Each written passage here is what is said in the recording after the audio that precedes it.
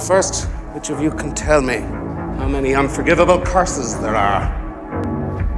Three, sir. And they're so named? Because they are unforgivable. The use of any one of them will earn you a one-way ticket to Azkaban, correct? Now, the minister says you're too young to see what these curses do. I say different. You need to know what you're up against. You need to be prepared. Give us a curse. The Curse. The Cruciatus Curse. Correct! You could give us the last unforgivable curse, Miss Granger. Kedavra! Killing curse. Only one person is known to have survived it. When you're sitting in this room.